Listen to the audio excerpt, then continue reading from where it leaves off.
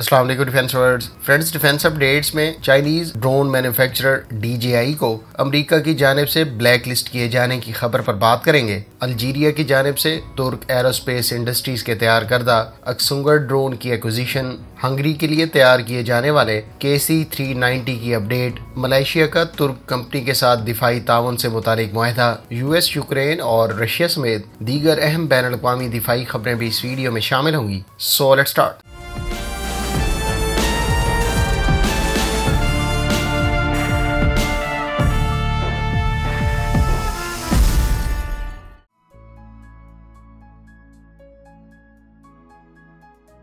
Friends, Turk media sources के मुताबिक एक और अफ्रीकन कंट्री ने तुर्की के साथ ड्रोन्स एक्विजिशन से मुतालिक माहदा तय किया है। इस मरतबा अल्जीरिया तुर्क एरोस्पेस इंडस्ट्रीज़ के तैयार करदा अक्सुंगर ड्रोन को अकायर करने वाला पहला बैन अवी कस्टमर बन गया है। अल्जीरिया ने तुर्क एरोस्पेस इंडस्ट्रीज़ के तैयार करदा छह अक्सुंगर ड्रोन ऑर्डर किए हैं, जबकि इसके साथ एसोसिएटेड वेपन सिस्टम और कमांड स्टेशन भी ऑर्डर किया गया है। याद रहे कि एक्सुंगर ड्रोन दोनों एयरफोर्स और नेवल फोर्सेस के लिए डिफरेंट टास्क सर अंजाम देने की सलाहियत का हामिल है। ये ड्रोन इससे पहले तुर्क एयरफोर्स और तुर्की की ही नेवल फोर्सेस के जेर इस्तेमाल है अल्जीरिया के बारे में इतलात है कि उसने रॉकेटसान के तैयार करदा अटमाका एंटी शिप मिसाइल में भी दिलचस्पी का इजहार किया है, जो फ्यूचर में इस ड्रोन से लॉन्च किया जा सकेगा। इस ड्रोन को दो P D one seventy turbo diesel engine से पावर्ड किया गया है, जिनको तुर्की ने मकामी सतह पर ही तैयार किया है। चालीस हज़ार फुट की बुलंदी पर प्रवास करने वाले इस ड्रोन की इंड्योरेंस चालीस से पचास घंटे बताई जाती है। इस ड्रोन ने पहली मरतबा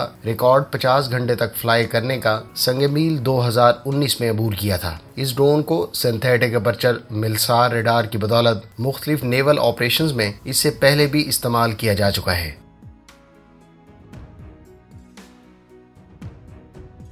फ्रेंड्स, गुजशत रोज रूस और क्राइमिया को मिलाने वाली वाहिद पुल को धमाके से उड़ा दिया गया। किर्च स्ट्रेट पर इस 19 किलोमीटर लंबे पुल की तमीर पर रूस ने तीन अशारिया सात अरब डॉलर खर्च किए थे और इसको 2018 में ट्रैफ़िक के लिए खोला गया था। इस क्रॉसिंग को क्राइमिया के रूस के साथ इलाहाक की अलामत समझा जाता है। याद रहे कि क्राइमिया 2014 से पहले तक यूक्रेन का हिस्सा था। ताहम अलहदगी की तहरीक जिसको रूस की पुष्पनाई हासिल थी, उसकी यूक्रेन के खिलाफ मजामत और बाद में रूस के हमले के नतीजे में यूक्रेन के इस इलाके ने एक रिफरेंडम के ज़रिए रूस के साथ बाकायदा इलाहाक का ऐलान किया था। 2014 के बाद से ये इलाका रूस के साथ जम हो चुका है। इस पुल को गुजशत रोज मुबैना तौर पर एक ट्रक या फिर एक धमाका खेज मवाद से भरी बोट से निशाना बनाया गया। इस धमाके के नतीजे में पुल को जुजवी तौर पर नुकसान पहुँचा। तहम रूसी वजारत खारजा के मुताबिक इस पुल को आर्जी तौर पर मुरम्मत के बाद हल्की गाड़ियों के लिए खोल दिया गया है। कुछ गैर मुसदा जराये का ये भी कहना है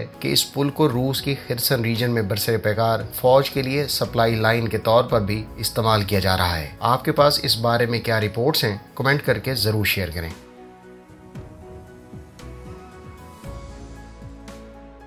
फ्रेंड्स, तुर्की की मकामी सतह पर तैयार करदा T C G Anadolu multipurpose assault ship के टेस्ट और ट्रायल्स के दौरान इस पर आल्टे टैंक ऑपरेशन के टेस्ट सर अंजाम दिए गए हैं। इस टेस्ट के लिए आल्टे मेन बैटल टैंक के एक प्रोटोटाइप को इस्तेमाल करते हुए इस इम्फीबियस असाल्ट शिप पर डिप्लॉयमेंट और बाद में लैंडिंग ऑपरेशन के लिए इस्तेमाल से मुतालिक मुख्तलिफ़ टेस्ट कंडक्ट किए गए। तुर्क सोर्सेज के मुताबिक ये टेस्ट कामयाब रहा और एक लिहाज से इस इम्फीबियस असाल्ट शिप को फ्यूचर में आल्टे मेन बैटल टैंक को डिप्लॉयमेंट के हवाले से सर्टिफाई कर दिया गया है। टी सी जी एनादोलू पर इम्फीबियस ऑपरेशन के लिए चार मैकेनाइज लैंडिंग व्हीकल्स का इस्तेमाल करते हुए टैंक्स असॉल्ट शिप्स या फिर ट्रूप्स को डिप्लाई किया जा सकता है। याद रहे कि टीसीजी एनादोलू इस साल के आखिर में तुर्क नेवी के हवाले कर दी जाएगी, जबकि इस लैंडिंग हेलीकॉप्टर डॉक पर 10 A H one W attack helicopters या फिर ड्रोन्स को डिप्लाई किया जा सकेगा। तुर्क कंपनी बेकर इस मकसद के लिए अपने टीबी थ्री ड्रोन पर भी काम कर रही है, जो इस डेक पर लैंड और टेक ऑफ़ कर सकेगा।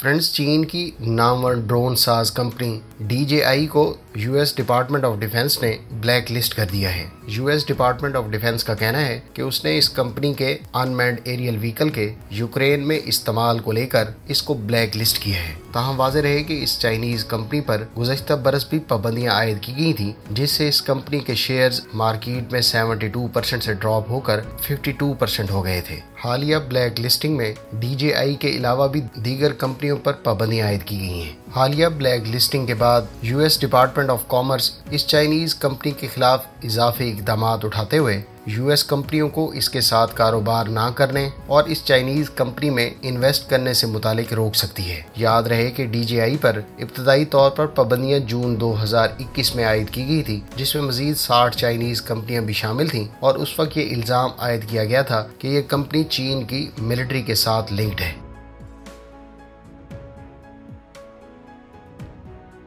फ्रेंड्स, ब्राजीलियन कंपनी एम्ब्रियर की जानब से हंगरी के लिए तैयार किए जाने वाले पहले के सी थ्री नाइनटी एयरक्राफ्ट से मुतालिक असम्बली स्टेट की तस्वीर रिलीज़ की गई है। ताज़ा तरीन इतलात के मुताबिक एम्ब्रियर की जानब से हंगरी के लिए तैयार किए जाने वाले पहले के सी थ्री नाइनटी एयरक्राफ्ट को 2023 के मिड तक रेडी कर लिया जाएगा। इसके बाद इस तैयारे को हंगरी की फिजाइया के हवाले किया जाएगा। याद रहे की हंगरी ने नवंबर दो हज़ार बीस में दो के सी थ्री नाइनटी एयरक्राफ्ट का ऑर्डर दिया था, जिसमें से पहले की डिलीवरीज मुबैना तौर पर 2023 के एंड या 2024 के अवाइल में मुतव हैं।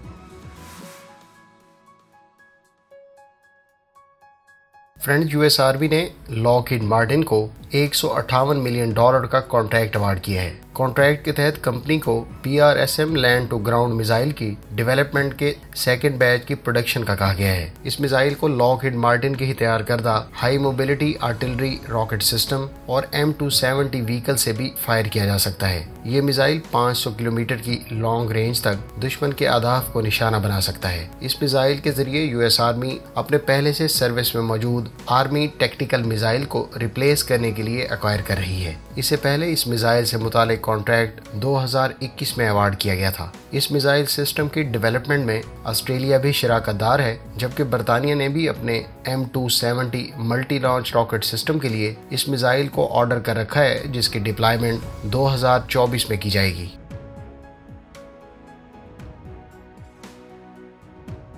फ्रेंड्स, ताइवान की हुकूमत ने 2023 के दिफाई बजट में इजाफे को मंजूर करते हुए एक अशारिया पाँच अरब डॉलर इजाफे के साथ ताइवान के ग्यारह अशारिया छह अरब डॉलर के दिफाई बजट की मंजूरी दे दी है। इस बजट में खास तौर पर ताइवान के लिए फाइटर एक्विजिशन के लिए रकम मख्त की गई है। ताइवान की मकामी सतह पर तैयार करदा इम्फीबियस असाल्ट शिप के लिए भी एलोकेट किए गए हैं। इस सिलसिले की पहली शिप ताइवान ने चंद रोज पहले ही लॉन्च की है, जिसकी डिस्प्लेसमेंट दस हज़ार छह सौ टन बताई जाती है। याद रहे कि ताइवान कई तरह के एडवांस वेपन्स अमेरिका से खरीद रहा है, जिसमें Harpoon antiship cruise missile Abrams tank और पेट्रियाट मिसाइल काबिल ज़िक्र है।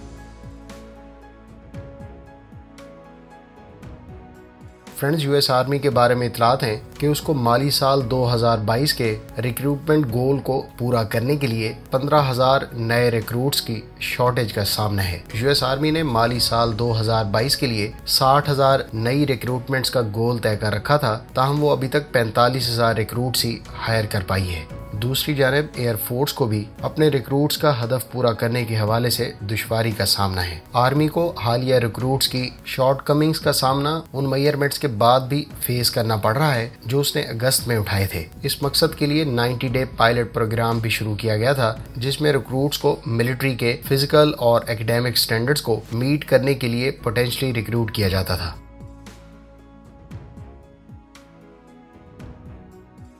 फ्रेंड्स, मलेशिया के National Applied Research and Development Centre ने, जो कि Ministry of Science, Technology and Innovation जेर असर काम करता है, उसने तुर्क एरोस्पेस इंडस्ट्रीज़ के साथ मेमोरेंडम ऑफ़ अंडरस्टैंडिंग साइन किया है। इस एमओयू के साथ ही तुर्क एरोस्पेस इंडस्ट्रीज़ ने अपने इंटरनेशनल कॉपरेशन में एक और कस्टमर का इजाफा कर दिया है। इससे पहले गुजशत बरस तुर्क एरोस्पेस इंडस्ट्रीज़ ने मलेशिया के अंदर अपना बाकायदा ऑफ़िस कायम किया था। याद रहे कि चंद रोज पहले ही तुर्क वज़ीर दिफा की जानब से कहा गया था कि मलेशिया और इंडोनेशिया दोनों तुर्क कंपनियों के तैयार करदा ड्रोन में दिलचस्पी ज़ाहिर कर चुके हैं। वाजह है कि तुर्क कंपनियाँ पहले ही इंडोनेशिया के साथ मुख्तलिफ़ प्रोजेक्ट्स पर मिलकर काम कर रही हैं। अलबत् मलेशिया के बारे में मुख्तलिफ़ जराए का कहना था कि शायद मलेशिया अपनी एयरफोर्स के लिए तुर्क एरोस्पेस इंडस्ट्रीज़ के तैयार करदा हुरकुस ट्रेनर एयरक्राफ्ट को अकायर करे। अलबत् इस बारे में अभी तक कोई मुसदा इतलात सामने नहीं आई।